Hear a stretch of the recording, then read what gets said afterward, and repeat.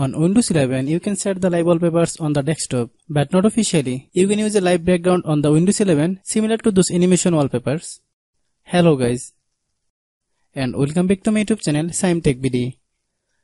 Today I will discuss how to set live desktop wallpapers on Windows 11.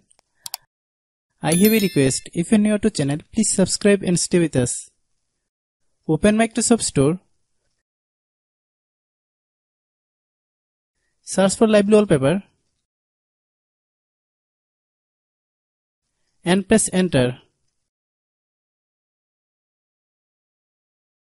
Click Lively Wallpaper. Click install button. Once you complete the step, you can use the app to set living wallpapers on your desktop.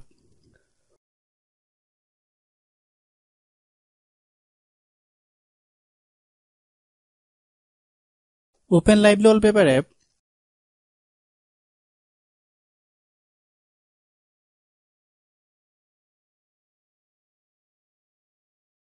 Select a live wallpaper.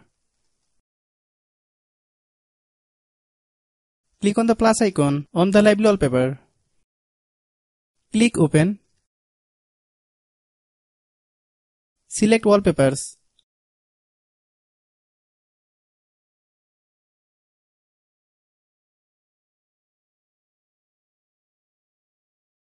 Hope you understand. I have a request, if you're new to channel, please subscribe and stay with us.